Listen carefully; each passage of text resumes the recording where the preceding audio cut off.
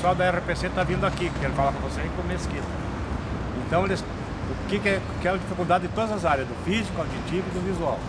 Nós temos que informar eles qual é a dificuldade. Então nós temos que ir rápido, dar uma olhada em tudo. Eles chegam duas e meia. É. Por exemplo, a, a posição do, dos elevadores, o tradutor Libras, ali perguntar se existe a intérprete Libras. Né? Bem, a primeira, primeira coisa que falta aqui também para o centro visual é um mapa tátil. O cara chega aqui, ele desceu do ônibus, chega aqui, ele não faz a mínima ideia de o que, que é o que. Né? Então se ele tivesse aqui já no, no, no, no final do, do, do piso tátil, já tivesse um mapa tátil, ele já poderia se orientar. Estou na ala tal, lado tal, daqui para lá é tal coisa, daqui para lá é tal coisa. Né? Então, como tem, na, por exemplo, já foi no Memorial América Latina, né? Todos os acessos no Memorial América Latina tem um mapa tátil, uma maquete volumétrica. Então o cara sabe até pelo formato do prédio o que, que é o que. Está escrito em braille pelo formato do prédio, ele sabe no primeiro banheiro lá, não consegui entrar. Moço, você trabalha aqui, né, moço? Plataforma 14, Bloco Estadual, São Caetano do Sul, pela Catarina Sul, Porto Plataforma 32, Bloco Estadual, ah, é ali o banheiro.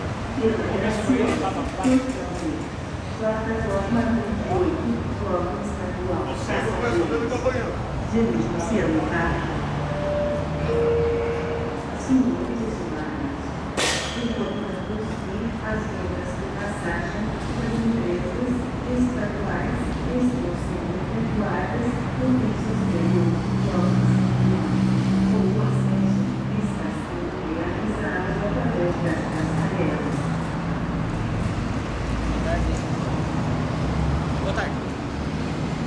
Curiosidade, vocês são de algum instituto, alguma coisa assim?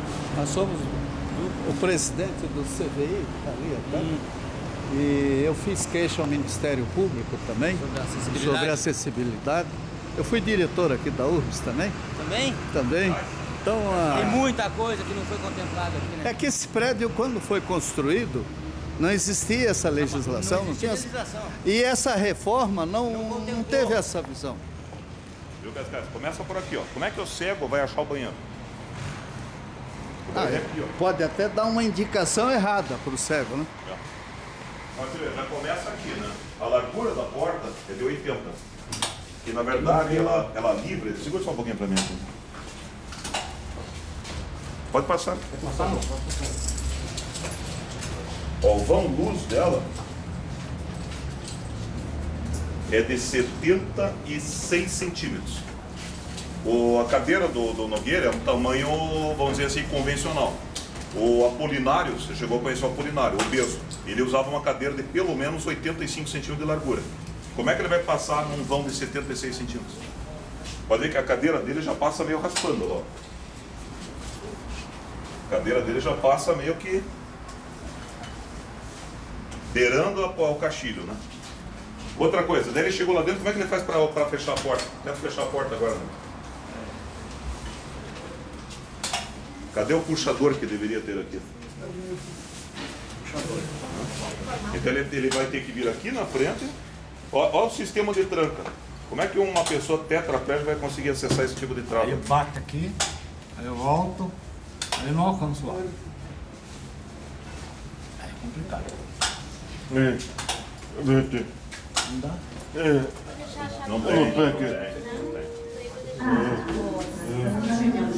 Não, não precisa tudo isso. Não. Um puxador. É. Só. Não precisa tudo lá, porque a pessoa não abre a porta se apoiando na porta. É só para quando ele entra, ele poder puxar a porta. Né? Apenas um puxador. Aqui, Cascais. Primeiro, piso liso e escorregadio piso de granito polido. Isso molhado é tombo na certa. Se entrar uma pessoa usuária de muleta ou bengala, com certeza vai cair. Tinha que ser todo ele nesse mesmo padrão aqui, ó. O apicoado. Não, não esse liso aqui. Tinha que ser o levigado. Tá? Então por que essa diferença? Porque aqui antiderrapante e dentro do banheiro que é mais perigoso, o escorregadio. Não tem lógica, né? Segundo ponto, está faltando aqui também, né? Terceiro ponto, está faltando também a barra de apoio ao lavatório que já teve, diga-se né? Tá aqui os sinais aqui, ó. Só que foi mal afixado. Pode ver que do outro lado tá ó. Tá? Já foi, já teve uma tentativa, só que caiu, foi mal afixado provavelmente, e não voltaram a recolocar. Muito importante ter essa barra, porque a- o próprio tetraplégico ele precisa de um ponto de apoio quando ele está lavando a mão. Tá? E o segundo, que uma pessoa de muleta, se ela se desequilibrar, se agarrar na pia, a pia vai cair. Tá? Então essa barra ela tem que estar muito bem fixada, e não com essa buchinha 6 aqui, né? Tem que ser um, um parabolt, alguma, algum, algum parafuso que realmente dê uma fixação coerente. né? O espelho poderia estar um pouquinho mais baixo. Isso aqui poderia estar numa posição mais adequada, né? Porque aqui ele tem que se virar de costas para pressionar a saboneteira. O certo seria isso aqui, isso aqui. E a papeleira, né?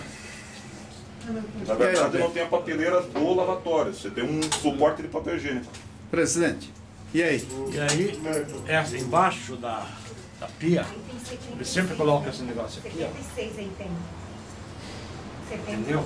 Né? Quando você vem aqui, você quer liberdade, fazer isso aqui. Então você tem que se agarrar e Esse colocar. aqui é 76.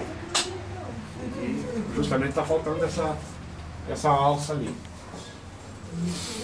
Uma outra coisa que seria importantíssimo ter também ao ao lado do vaso sanitário é a ducha higiênica. Que é maior. Porque a pessoa que não tem controle de esfíncter, às vezes ele está sujo até o umbigo. Né? Soltou e, e não Esse é só vaso tem que papelzinho estar bem vai- preso, senão ele pode cair, não. Também, fica bem preso. A altura, ele poderia ter usado o vaso normal, porque isso aqui é uma reclamação entre os paraplégicos. Ele urina, acaba urinando na calça. Então, se ele usasse o tampo normal, o tampo alto com abertura frontal, ele supriria a necessidade do para e do tetraplégico. Porque o tetra ele precisa desse, desse acesso, né? o para já não precisa. Mas a maior reclamação aqui é o piso. Jamais poderia ser um piso relativo.